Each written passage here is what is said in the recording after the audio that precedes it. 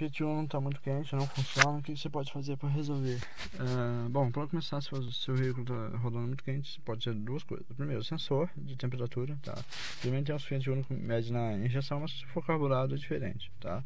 Você vai procurar o sensor de temperatura para ver o que está acontecendo com ele, tá bom? No manual, na internet, você buscando, vem certinho, tá? Onde fica. É, no mais, se estiver muito quente, se estiver rodando muito quente mesmo, Poderia ser o painel com defeito, com mau contato, tá? Mas não. Ah, se tiver ar quente, vê se o radiador do ar quente não está entupido, se não tem algum problema.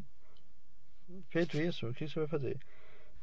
Ah, você vai simplesmente, né? Se não tiver entupido nenhum radiador nem nada, você vai efetuar a verificação do scanner para ver se tem algum erro é, condizente com a alta temperatura do veículo, tá?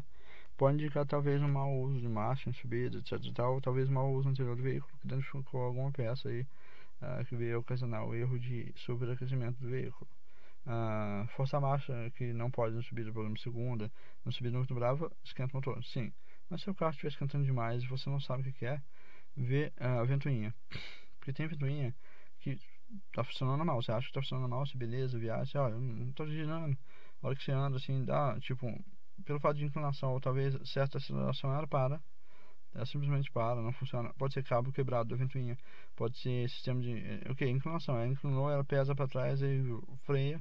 Não funciona, fica agarrando alguma coisa. Pode ser a carcaça da ventoinha que está torta, empinada.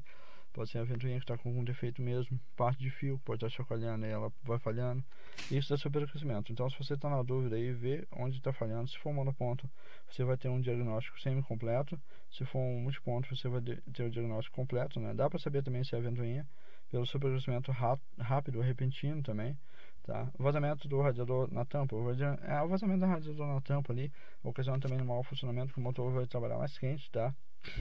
Mas é, não ocasionaria numa parada assim. Vazamento no tubo de água. Vazamento no, tampa, no tubo ocasiona o que? Mau funcionamento. Se estiver vazando no cano d'água e estiver baixando muito água, é o vazamento ali naquele cano embaixo, tá? Ou na tampa. Na tampa é, bem, é visível, mas no tubo ali você não vai ver. E se abrir, ele pode furar da vez e fundir o motor. Então troca sempre o cano d'água do seu carro se estiver enferrujado com algum furo. Mas eu creio que é isso, né? Se você tiver algum problema de superaquecimento, pode ser isso. Tenho certeza que vai resolver.